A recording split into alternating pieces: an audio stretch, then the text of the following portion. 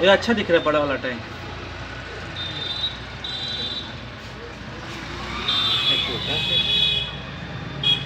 ये बड़ा